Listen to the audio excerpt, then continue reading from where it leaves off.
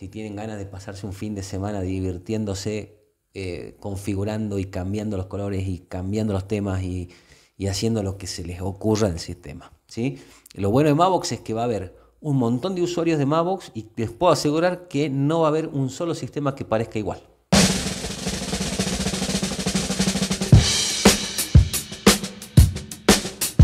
Hay una distro que me han pedido muchas, pero muchas veces acá en el canal que le pegue una mirada, porque, bueno, todo el mundo sabe que a mí yo tengo un amor por OpenBox y me dijeron, probá Mavox, probá Mavox, probá Mavox.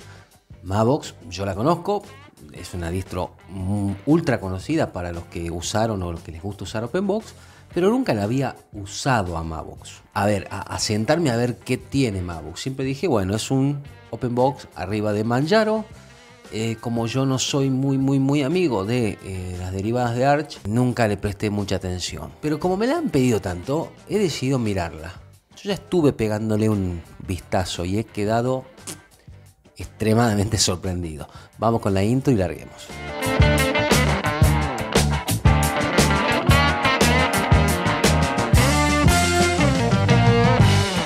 Hola, ¿qué tal amigos de la Garza Resistente? Sean bienvenidos a este episodio aquí en el canal. Y bueno, finalmente vamos a mirar a Mavox, que es, sinceramente no puedo creer que yo no la haya investigado un poco más en profundidad antes. Me ha sorprendido, voy adelantando, me ha sorprendido y sinceramente vale la pena, vale la pena, créanme. Vamos a la pantalla sin demorarnos mucho y larguemos. Lo primero que vamos a hacer es darle una mirada a la página web del proyecto Mavox, mavoxlinux.org, creo que era. Sí, ahí estamos. Eh, una página a mí particularmente me gusta porque ofrece mucha información para los que recién llegan. Eh, tenemos fácil, encontramos muy fácil el botón de descarga y además tenemos acá unas capturas de pantalla como para tener una idea de qué nos vamos a encontrar desde el apartado visual de la distro. ¿no? Acá claramente resaltan sus características, es liviana, es rápida, es estable, está construida sobre Manjaro que es, en otro video ya expliqué que es un poquito más estable que Arch o intenta llevar más estabilidad al mundo Arch. Eh, tiene software súper actual, tiene herramientas propias, las Mavox Tools, eh, bueno, tiene el botoncito para donar, que es importante, eh, sobre todo si son personas que usan habitualmente la distro, está bueno que aquellos que puedan eh, ayuden al proyecto para que el proyecto pueda continuar y solventarse. Y bueno, es un proyecto por el cual no hay que pagar absolutamente nada, como casi todo en el mundo de GNU Linux. acá tenemos unos videos donde nos muestran características que hacen a Mavox bastante especial, bastante única. Una son los paneles laterales, que ya vamos a ver enseguida de qué se trata. Después tiene una opción para hacer eh, un tiling de, ventana, o sea, de poner las ventanas en, mosaico. Eh, sabemos que OpenBox es un gestor de ventanas de estilo flotante, eh, al, al, más puro estilo clásico Windows, al estilo de KDE, e, al estilo de, Genome, donde las ventanas van apareciendo y se van superponiendo unas a otras. Eh, podemos hacer un pseudo tiling con esta herramientita que ellos nos ofrecen y la otra es el colorizer, que es una herramienta para eh, lo que tiene que ver también con el apartado gráfico y poder ir eh, hacer que el sistema cambie la, vaya cambiando la paleta de colores. la verdad que son cositas bastante únicas de Mavox. Luego tenemos una sección de noticias que está bastante desactualizada. La última noticia es del 2 de diciembre del año pasado, o sea, llevan ya más de seis meses sin actualizar esto. De hecho, cuando entré pensé que la distro estaba discontinuada cuando llegué a esta parte. Después me di cuenta que no. La última versión fue lanzada, la última imagen ISO. Se lanzó en julio del 2024, o sea, súper actual. ¿Qué más tenemos? Bueno, el apartado de noticias, que ya dije, desactualizado. Pero sí tenemos acá una guía del usuario que está buenísima, está en inglés, por supuesto, pero está muy, muy completa, muy buena para los que recién llegan puedan ir guiándose en, este, en esta guía que gentilmente ponen para que la gente eh, tenga otra herramienta más para explorar esta distro. ¿sí?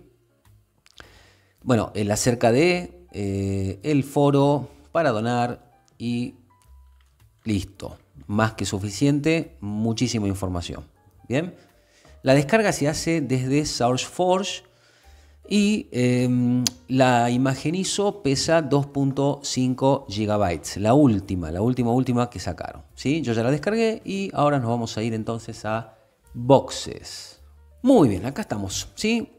Hemos insertado nuestro, nuestra imagen ISO, yo lo estoy haciendo en máquina virtual, pero si ustedes lo pusieron en un, eh, en un USB, este, les va a aparecer esta, esta ventana, ¿de acuerdo? Acá, muy a lo Manjaro, esto es muy típico de Manjaro, podemos configurar la zona horaria, podemos configurar el mapa del teclado, que yo lo voy a poner en LATAM, que es mi teclado. Acá está. El lenguaje, ¿sí? Lo vamos a poner en español. Y ahora sí vamos a arrancar. Tenemos dos opciones, una que es para bootear con los drivers open source o drivers propietarios. Consejo, si la van a usar en una máquina virtual, vayan con el open source, ningún problema. Ahora, si van a instalarlo en hardware real, yo les diría que por la duda vayan con el, el buteo con drivers propietarios para que no tengan problemas para que les reconozca el Wi-Fi y ese tipo de cosas. Bien, arrancó nuestro sistema en modo vivo, ¿sí?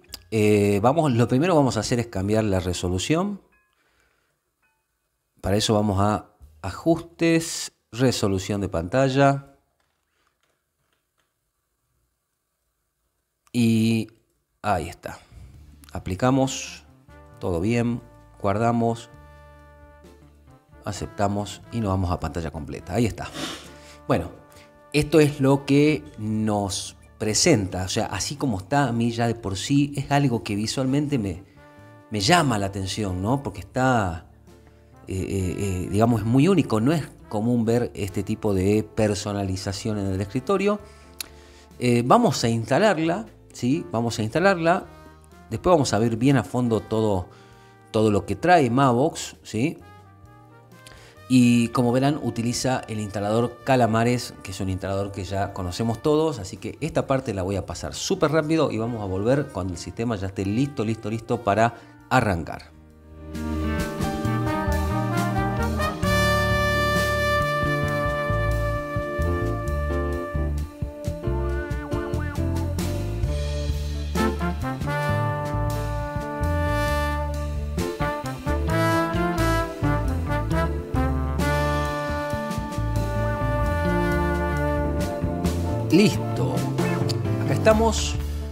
Nos recibe la pantalla de bienvenida, es LightDM. Eh, clásico LightDM. Bueno, acá tenemos la única sesión para ingresar es OpenBox. Vamos a arrancar.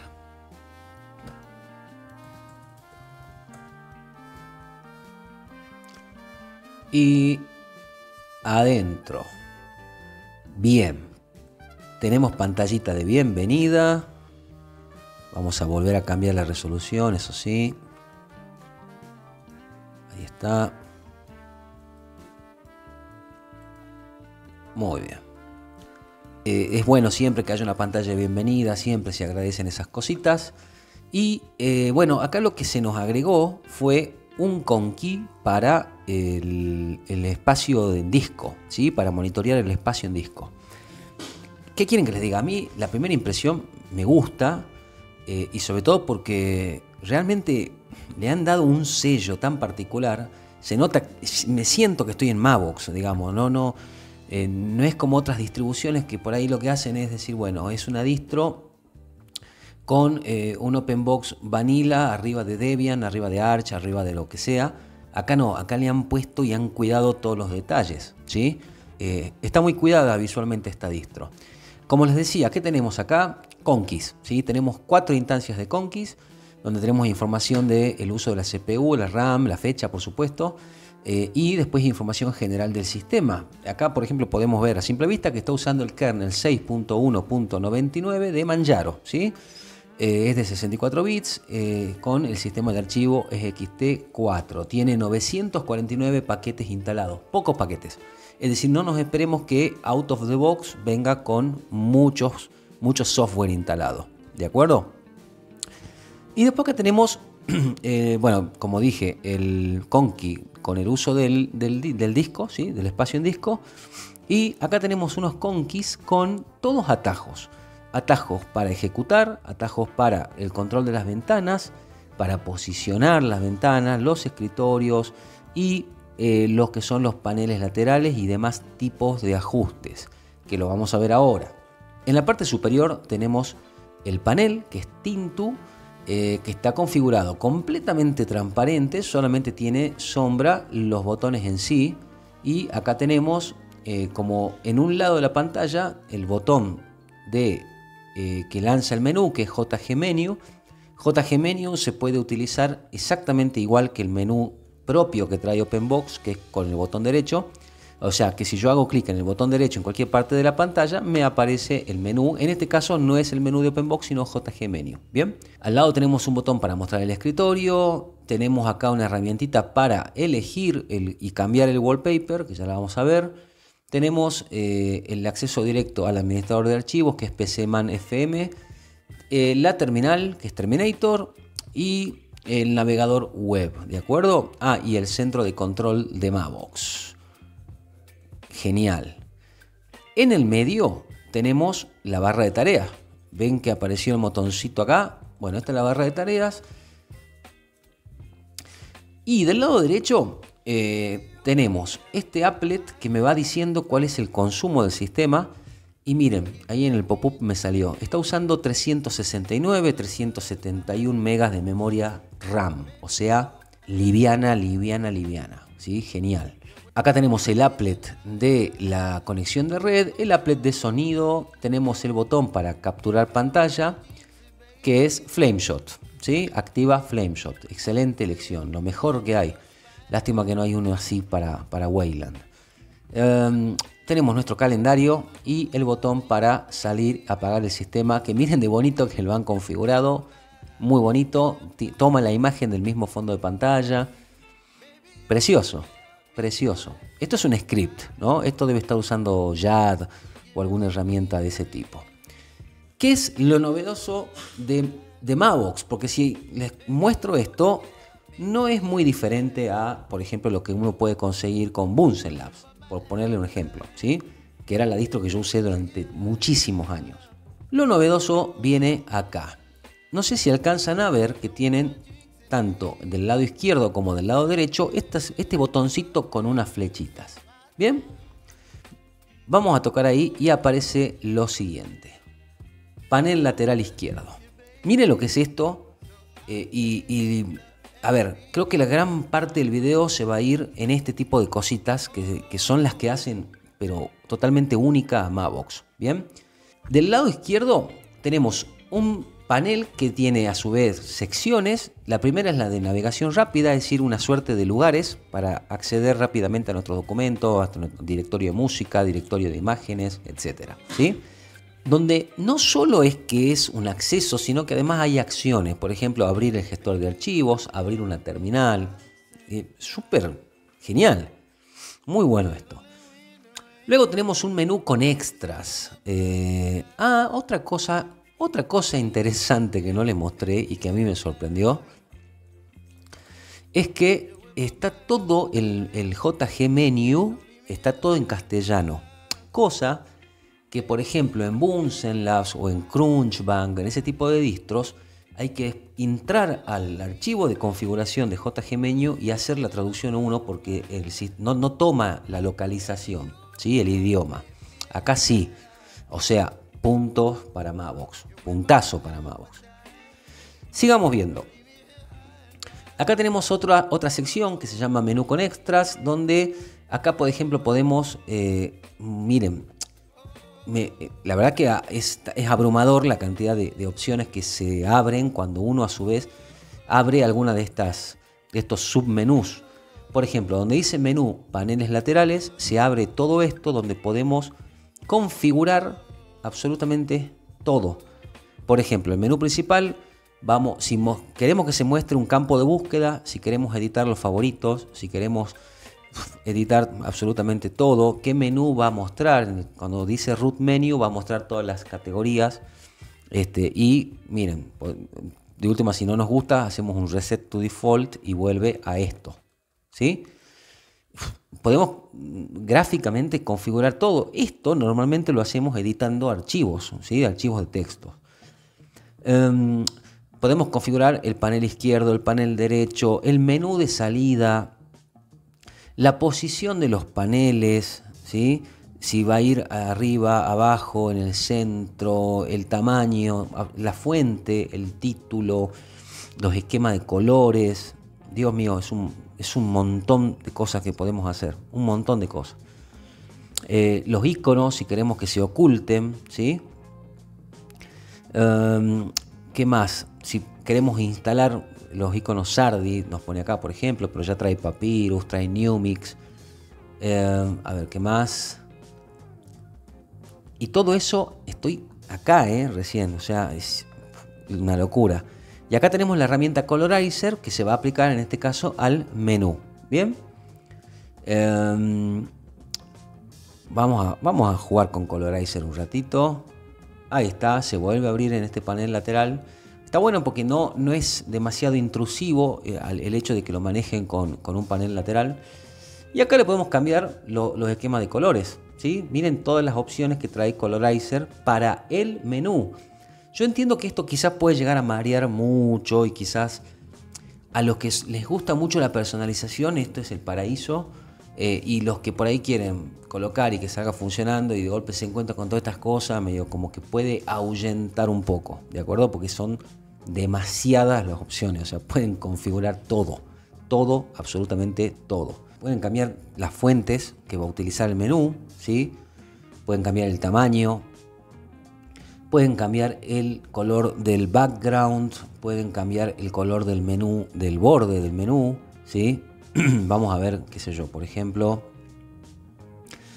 Ah, miren, hasta, hasta toma los colores, esta es la paleta de colores del fondo de pantalla.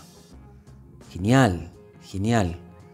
Bueno, como verán, pueden, se van a cansar de hacer cosas y estoy en el primer ítem de una serie de un, montón, de un montón que hay. Bueno, acá tenemos para cambiar el wallpaper, para este, editar, configurar el, bloqueador de pantalla, ¿sí?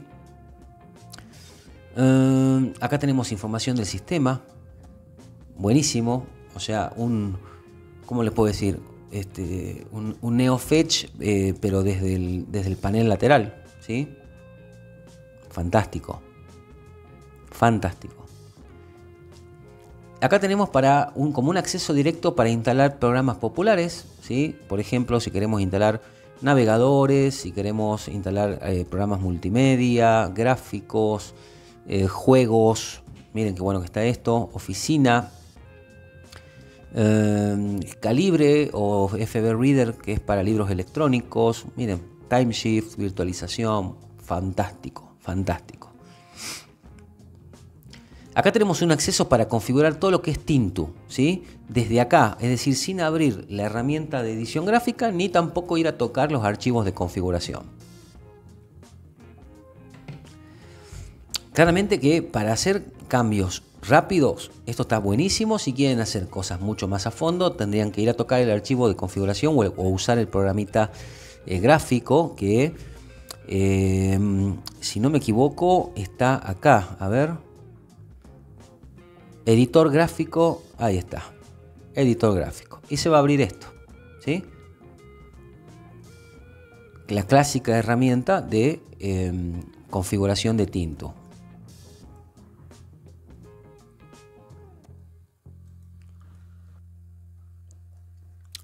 Acá también tenemos para configurar Conky, ¿sí? que son los recuadritos de información que tenemos en el escritorio.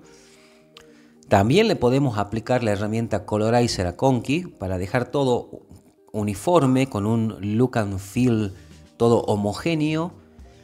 Y acá tenemos eh, programitas de acceso directos a Betop, a Fsearch, P-Radio, eh, genial.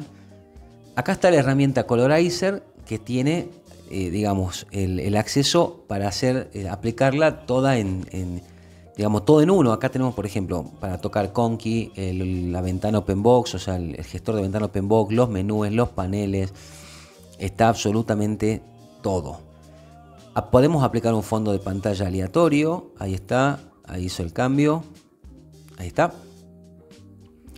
Eh, o podemos elegir los fondos de pantalla para los cuales nos abre PCMan FM, que es el gestor de archivos, y vamos a mirar, bueno, tiene fondos espectaculares. ¿Qué quieren que les diga? Son fotazas las que tiene. Vamos a colocar, eh, a ver, a ver, a ver, a ver. Está el botón derecho, establecer como fondo de pantalla, escalada. Y listo, ahí lo cambió. Ahí está. Por supuesto que ahora podríamos hacer un colorizer eh, de, de, Conky, ¿no? Para que, porque si no este verde choca con el fondo de escritorio. Como verán también Conky trae el loguito de acá de Mavox puesto permanentemente en el centro. Vamos a ir a colorear y vamos a decir que, va, que nos colore el conky en función de eh, el, bueno ahí lo que hizo fue ponerlo en transparente pero vamos a hacer que eh, ah cuando pongo conky directamente me toma los colores que ya que, capta del, fondo ¿sí? Vamos a abrir el menú de Conky, ahí está y podemos cambiar la posición del logo. ¿sí? Podemos cambiar todo, o sea, es una locura, es una locura. Es una locura. Esto se, digamos, se van a divertir con esta distro, no se dan una idea. Vamos a poner un bordecito. A ver, que dibuje un bordecito. Ah, no, no, no, lo que hizo fue poner como en negrita la letra. No, no, no, no, la fuente. Color transparente, no, voy a elegir del, del fondo que me tome, podría ser mm, eh, un negro. Ahí está, y que me tome las letras, porque si lo pongo en negro no se nota. Entonces, el color, voy a usar alguna de estas que están ya... Ahí está, le voy a poner, le voy a decir que tiene que un fondo oscuro, entonces me va a poner las letras más claritas. Ahí está. ¡Qué locura! Se van a divertir con esta distro, créanme. Una locura total. A ver, el menú me quedó como, como verde. Vamos también a aplicarle el colorizer al menú. Menú y panel. A ver, miren.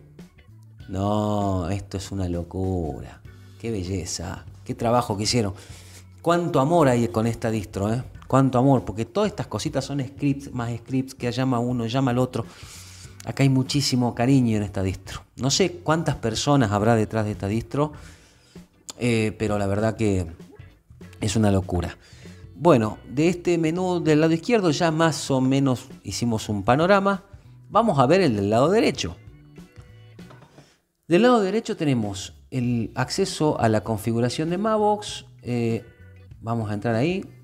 Y uff, miren todas las opciones que se abren aquí. Centro de control de Mavox, eh, para agregar lanzadores a Tintu, para agregar paneles si queremos un segundo panel.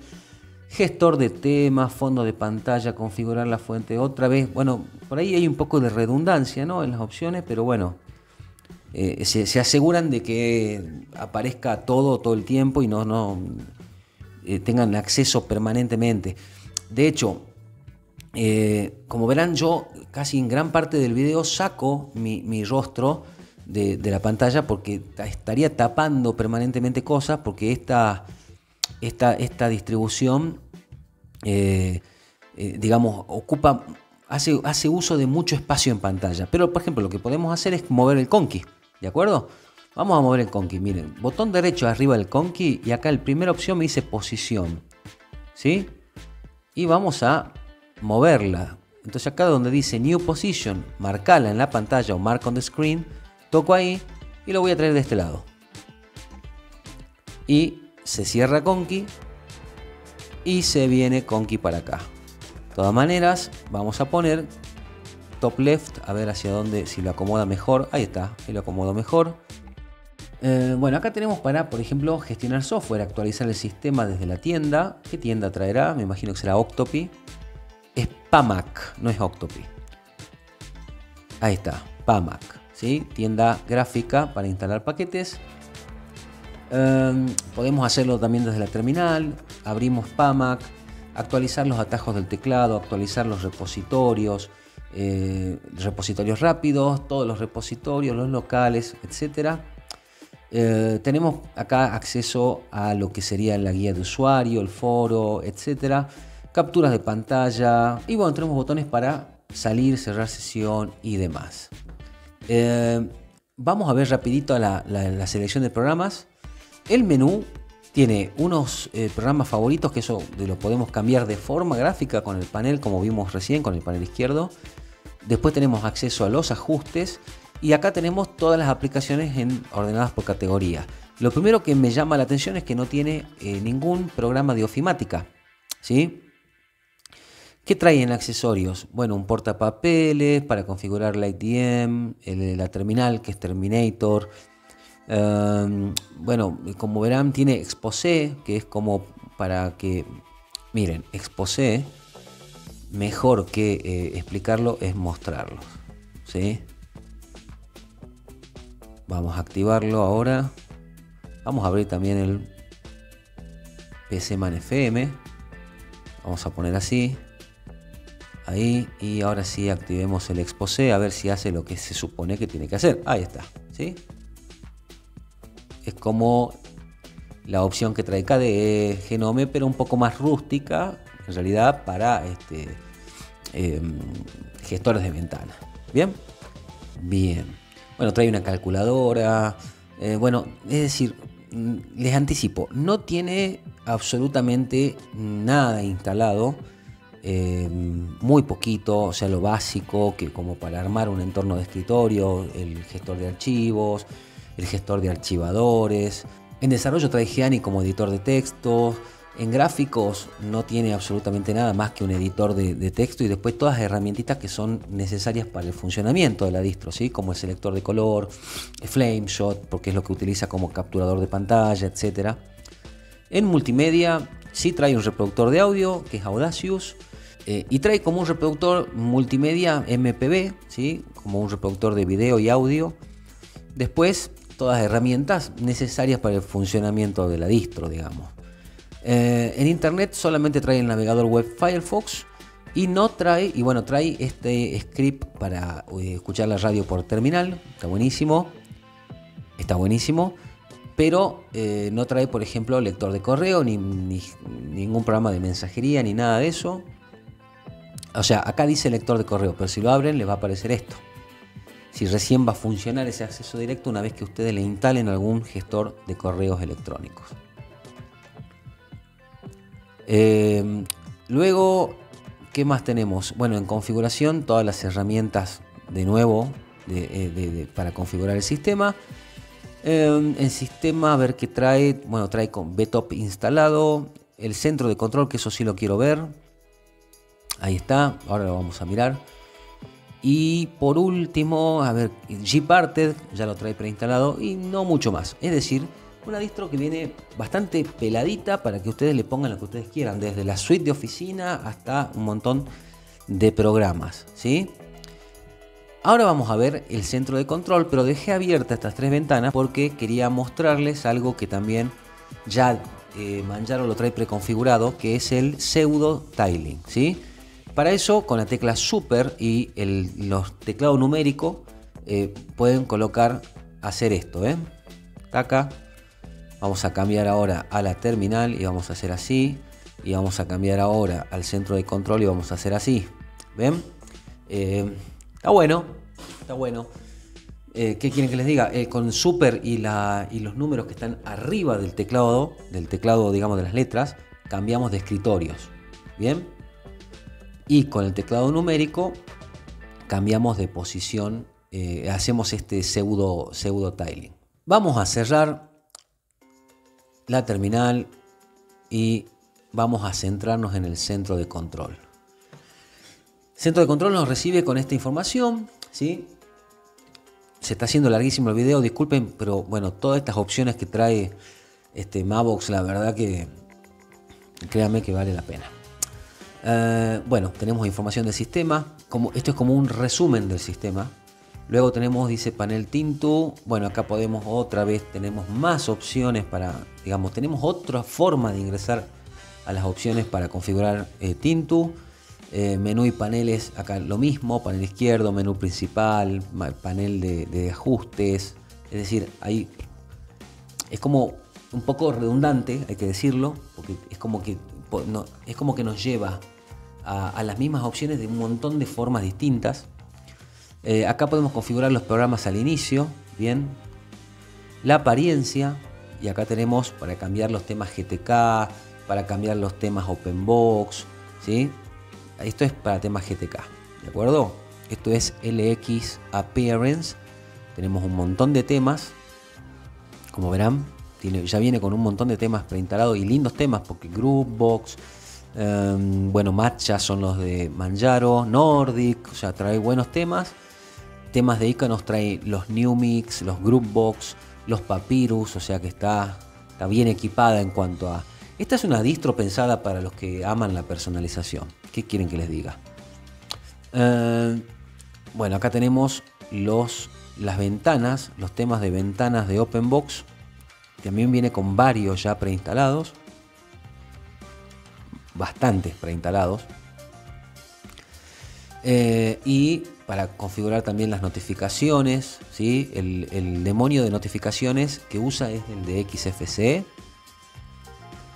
y bueno, las herramientitas propias de Mavo que son Colorizer, Colorizer Menu y todo eso. Eh, el gestor de temas Mavox, esto se lo han robado a Bunsen Labs. Así se los digo, sí. Esto es eh, el gestor de temas Blob, que le llaman en Bunsen. O sea que ustedes hacen sus modificaciones, cambian los colores, hacen todo lo que quieran, guardan y después ya pueden acceder desde acá para, para reaplicarlos en algún momento. Bien. Y acá podemos aplicar temas eh, que, ya están, que ya vienen preconfigurados, como por ejemplo el Arc Dark, Cyberpunk, Drácula, Groupbox. Vamos con Groupbox. Nordic me encanta. A ver, Nordic o, o Groupbox. Ay, qué difícil. Bueno, vamos con Nordic. Doble clic. Nos sale todo esto, le ponemos OK. Y nos va a cambiar el tema. Ahí está. ¡Wow! ¡Wow! Cambió hasta el tema de, de, Tintus, si se fijan arriba. Qué, qué genial que está esto, por Dios.